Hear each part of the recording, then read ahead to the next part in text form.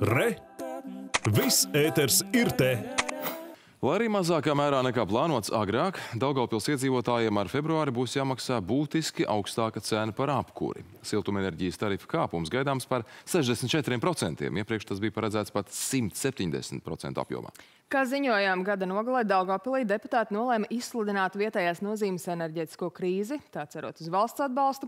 Savukārt līdz šodienai savus risinājums jāpiedāvā Daugavpils siltumtīkliem. Ar to šobrīd vairāk mēs jautāsim Daugavpils domas priekšsēdētājiem Andriem Elksniņiem. Labrīt! Labrīt! Sakiet, lūdzu, kāda situācija ir ar apkuras tarifiem, kas drīz gaidāmi Daugavpilī? Ņemot vērā, ka šis samazinājums, šis kāpums ir eh, pašlaik iezīmējies mazāks nekā pirms tam eh, sacīts, eh, iedzīvotāji spēs to samaksāt? Viennozīmīgi iedzīvotāji nespēs lielā daļā to samaksāt, jo siltumenerģijas tarifs manā izpratnē valstī, jebkurā no pilsētām, kurš būtu lielāks par 70 eiro, lielā mērā iedzīvotājiem nav pavelkams. Un šajā ziņā jāsāk ar to, ka Daugopilī šī situācija ir izveidojusies vēsturiski, jo vairāk nekā 95% no visām pilsētas siltuma ražošanas jaudām bija pakārtotas dabasgāzei. Savukārt nekāda veida alternatīvas tā arī netapa. Savukārt no otras puses, runājot par enerģētisko drošību, tad vairāk nekā 50% tika doti privātiem siltuma ražotājiem pēc OIK koģenerācijas schēmām. Un tajā brīdī, kad minētie privātie jau kopš septembra atteicās piegādāt siltuma enerģiju, Daugopilī arī parādījās krīzes, enerģētiskās krīzes iezīmes, kuras ir galvenokārt saistītas ar enerģētisko drošību.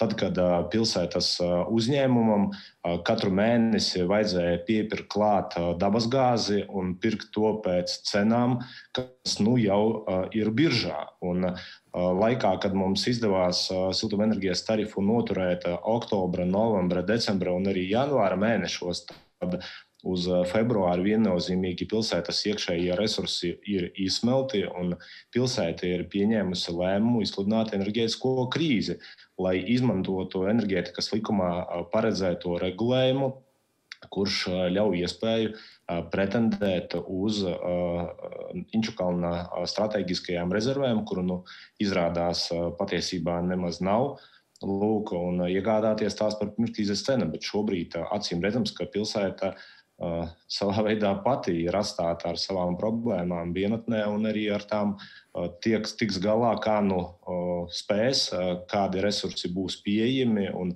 viens no tiem, ko mums izdevās panākt vienlaicīgi ar regulātoru, gan arī ar ekonomikas ministriju, ir iekļaut uh, jaunajā siltumenerģijas tarifā no februāra.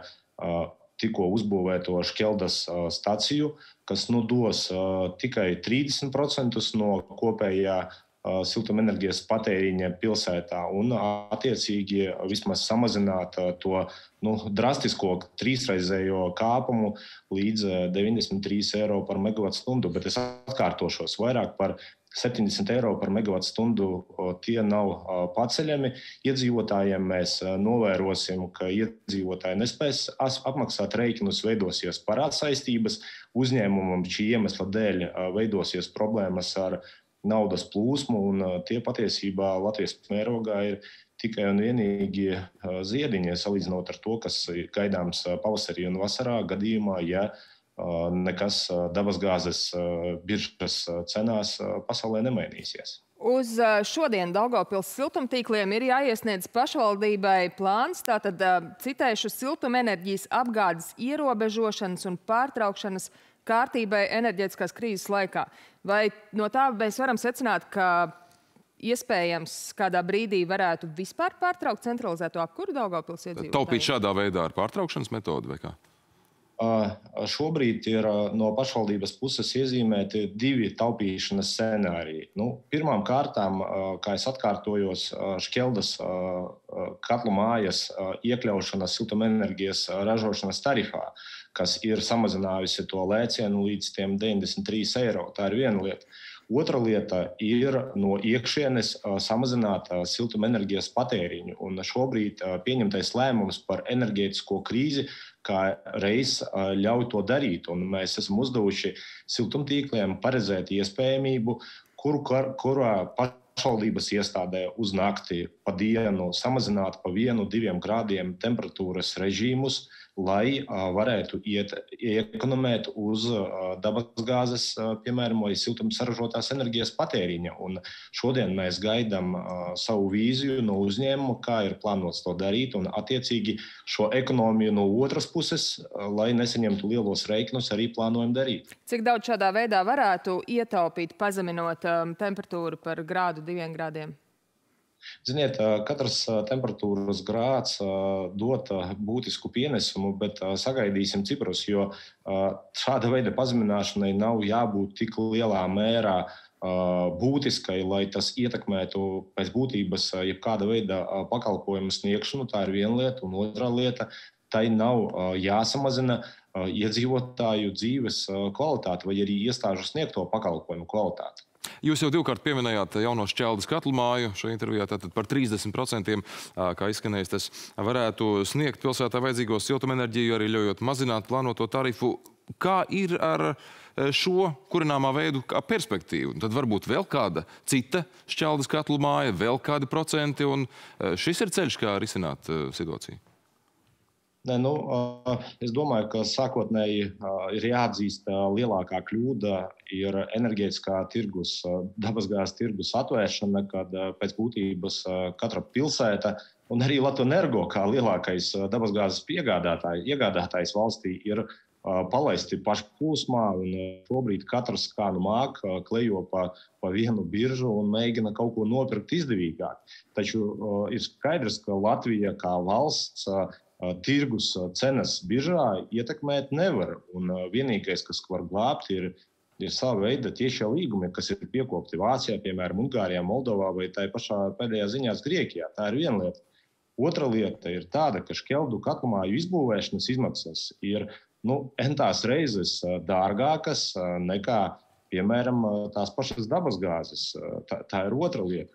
Trešā lieta nu, - ilgāk iekurinās šķeldas katlumā, ilgāk sasniedz to savu patieso koeficientu. Citi enerģijas resursi daudz ātrāk un ātrāk to veido. Un šobrīd pat šķeldas cena pēc būtības ir palielinājusies salīdzinot ar iepriekšējā gada pavasari gandrīz divkāršu. Un atkārtošos, ja enerģētikas tirgu kopumā visā valstī, pasaulē nekas nemainīsies un cenas zemākas nekļūs, tad pilsētas problēmas būs valsts problēmas. Tās jau pēc būtības arī ir. Un, manuprāt, nu, nekāda veida risinājuma tāda konceptuāla attiecībā uz šo situāciju valsts mērogā pašlaik nav. Un tas, kas lielā mērā man liekas simpātisks, ir absolūts Igaunijas piemērs, kad Igaunijas valdība ir noteikusi, ka ja tarifs pakāpjas augstāk nekā 70 eiro, 78 eiro par megawatu stundu, tad valsts nāk palīgā un katrai maisaimniecībai kompensē 80% no tā maksimālā pieauguma. Respektīvi, respektīvi palīdzot iedzīvotājiem. Jo svarīgs jau kāds, kādu iedzīvotāju saņem rēķinu, nevis par kādiem uh, tarifiem, vai, vai, vai kurināmiem, vai, vai, vai kaut ko tamlīdzīgu mēs runājam. Bet ko tad jūs sagaidat no valsts? Jo ņemot vērā, ka šī ārkārtējā situācija, ārkārtējā situācija tika izsludināta krīzes situācija vietējā mēroga tieši ar domu sagaidīt valsts atbalstu. Vai tas ir līdzīgi Igaunijas modelim, ko jūs cerat sagaidīt, tad kompensācija rēķinam, kas sasniedz kādu noteiktu summu vai citi mehānismi? Nē, nu, galvenokārt, protams, mēs redzējām, izmantot iespēju strateģiskās rezerves, kādas ir noteiktas enerģētikas likumā. Jo enerģētikas likumā ir konkrēts punkts, kurš pasaka, ka, ja iestājas enerģētiskā krīze, tad var iegādāties dabasgāzi no Inčukalna gāzes krātuves par pirmskrīzes cenu. To es neesmu es, es izdomāju. Likumā ar šādu prasību ietverta ir. Nu, tad varbūt beidzot viņi ir jāizmanto, jo, jo citādi viņi tur tā kā tāda jēla stāv un nekam nav īsti arī domāta. Domāt. Tā ir viena lieta. Otra lieta ir nepieciešama būtiska, nepieciešama būtiska valsts iejaukšanās, nosakot, piemēram, to maksimālo robežu siltumenerģijas, piemēram, tarifiem. Es, es pat nerunāju šobrīd par elektrību, jo elektrība šobrīd velk uh, ūdens saimniecības tarifu pārskatīšanu, sabiedriskā transporta uh, izmaksu pārskatīšanu. Bet uh, sava veida uh, mēraukla ir nepieciešama, no kuras uh, vairāk par kuru ceļoties tiem tarifiem, valstī tad uh, būtu jāiejaucas. Un tā ir, atvainojos, sociāli atbildīga politika, uh, bet šā brīža risinājumi, piemēram, vai nu tikai pabalsti, vai nu, piemēram, tas pats tie, tie, tie paši, piemēram, akcijas nodokļi vai, vai, vai kaut kas tamlīdzīgs, viņi, viņi pēc būtības jau nerisina to visu. Jo svarīgs ir tas, ko iedzīvotājs rezultātā saņems pats. Un, un Daugopils šobrīd ir saņēmis gan Lielo pilsētu asociācijas atbalstu, gan, gan arī mēs sadarbojamies ar regulātoru un ekonomikas ministriju un cenšamies no šīs situācijas kopumā iziet laukā pietiekami cienīgi un ļoti veiksmīgi, manuprāt, ir pašvaldību savienības piedāvātie risinājumi, kā reiz, kur ir ļoti līdzvērtīgi tam Igaunijas modelim. Elksniņa kungs, Daugavpils pilsētas budžets pieļauj, ka šobrīd tādā finiša taisnē visticamāk ir iegājis. Cik liels finansējums, kāda finansējuma daļa ir paredzēta palīdzībai atbalstam iedzīvotājiem šajā gadā? Uz doto brīdi uh, finansējums sociālajai jomai ir paredzēts aptuveni ap 5,5 miljonu eiro apmērā. Un, protams, ir jāuzteic Labklājības ministrija par atbalstu mājokļa pabalsta daļai kompensēšanai no valsts budžeta, bet šā brīža situācija pašvaldību budžetos lielāko ieguvumu, kas ir nācis, piemēram, ņemot vērā iedzīvot ienākumu nodokļu klāt iešanu, tad visu to papildus naudu apēt kā reiz enerģētikas, kā reiz tas sadārdzinājums. Jo gan pašvaldības iestādes, gan sabiedriskais transports, gan tarifi, siltumenerģijas, gan ūdens saimniecības. Visi ir atkarīgi no energoresursu cenām.